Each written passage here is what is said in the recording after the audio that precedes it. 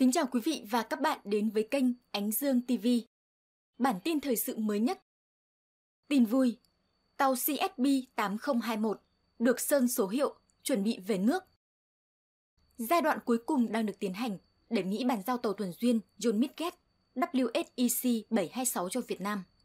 Khi mới đây, hình ảnh cho thấy chiếc tàu CSB 8021 đã được sơn xong và đang được chạy thử.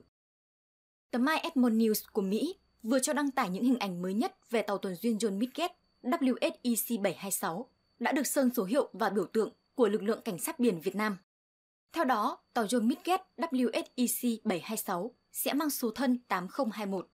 Quốc kỳ Việt Nam cũng đã được sơn lên phần ống khói của chiếc tàu tuần duyên này. Hiện tại, tàu cảnh sát biển 8021 được cho là đang trong quá trình chạy thử. Việc chạy thử tàu 8021 được Mỹ tiến hành ở vịnh Elliot và Puget Sound thuộc bang Washington. Tàu John Midget WSEC 726 được Mỹ hạ thủy từ năm 1971 và được nhập biên vào tháng 3 năm 1972. Đây là chiếc cuối cùng được Hải quân Mỹ đóng theo lớp Hamilton. Theo thiết kế ban đầu, tàu John Midget WSEC 726 có chiều dài 115 m, luồn rộng 13 m và có mâm nước 5,5 m. Tàu tuần duyên này có khả năng di chuyển với tốc độ tối đa 29 hải lý trên một giờ, tương đương 54 km trên một giờ. Ở tốc độ tiết kiệm nhiên liệu, tàu có thể di chuyển 12 hải lý trên một giờ. Trong điều kiện lý tưởng, tàu John Midget WSEC 726 sẽ có tầm hoạt động tối đa lên tới 20.000 km. Tàu tuần duyên cuối cùng thuộc lớp Hamilton này có dự trữ nhiên liệu tối đa 810.000 lít, 64.000 lít nước ngọt và có thể hoạt động trên biển tối đa 45 ngày. Biên chế đầy đủ của tàu gồm 184 người, trong đó 160 thủy thủ đoàn và 24 sĩ quan chỉ huy. Các vũ khí được trang bị trên tàu bao gồm những giá chắn súng máy 12,7mm, hải pháo 76mm Octobera cùng pháo cao tốc Palen. Phía Mỹ đã cải thiện lại tàu tuần duyên John Midget WSEC 726, tháo bỏ hệ thống pháo cao tốc Palen trước khi bàn giao cho phía Việt Nam.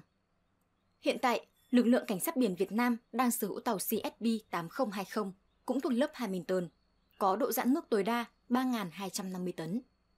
Dù có độ giãn nước lên tới 3.250 tấn, các tàu tuần duyên của Mỹ khi được hoán cải thành tàu cảnh sát biển Việt Nam vẫn chưa phải là loại tàu lớn nhất mà lực lượng ta đang sở hữu.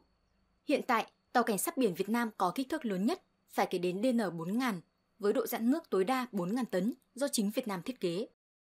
Bàn tiếp về việc bàn giao tàu John Midget WSEC 726, thì sau 8 tuần lễ tại xưởng, ngày 19 tháng 3 năm 2021, con tàu được lai dắt ra vịnh Elliot về lại cảng tuần duyên ở Sydney để chuẩn bị cho quá trình chạy thử. Việc sơn vạch ký hiệu, số phiên hiệu cũng như quốc kỳ trên tàu là vừa được tiến hành gần đây. Như vậy, rất có thể tàu CSB 8021 sắp sửa về nước.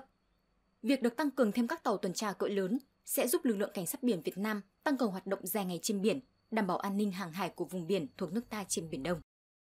Bản tin của chúng tôi đến đây là hết. Xin chào và hẹn gặp lại!